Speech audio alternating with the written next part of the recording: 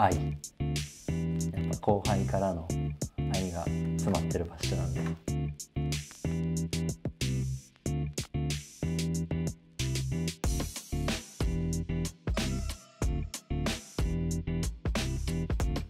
皆さんこんにちは。茨城ロボッツ高橋裕二です。今日は僕のバッシュを紹介していきます。今使ってるバッシュはナイキのズームフリークワンです。あけど結構愛着心が強いというか結構一度使ったら長く使うっていうのは結構、まあ、どんなものでも多くて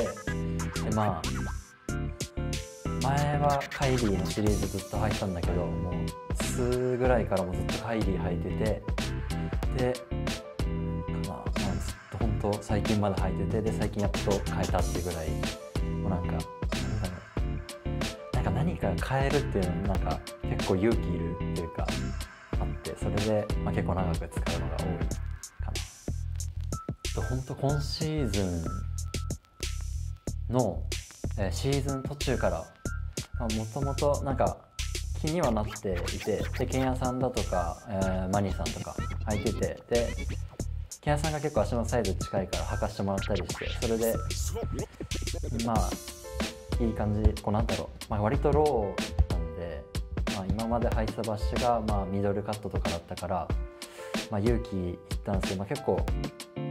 なんかやっぱ軽いしなんだろうやっぱローカットの抵抗が結構あったけどよく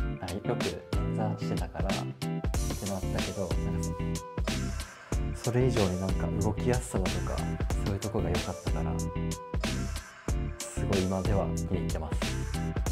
やっぱグリップ力はすごいいいと思うんで、まあそこはまあ自分のプレースタイル的にもやっぱ合うししっくりきてでまあそれで履いてみようと思ってこれにしました。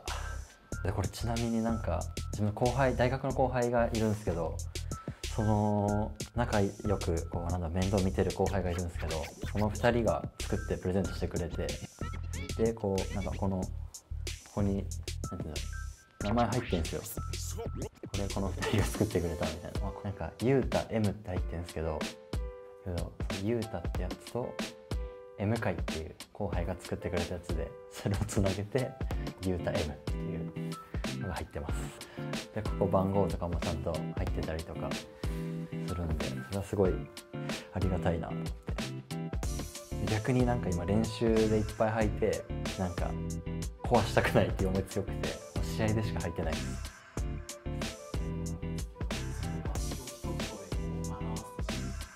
このバッシュを一言で表すなら愛。やっぱ後輩からの愛が詰まってるバッシュなんで愛で。もう今も大事に大事に履いてます、えー今回は最後まで見てくれてありがとうございました。アリーナでも僕のバッシュに注目してみてください。バイバイ。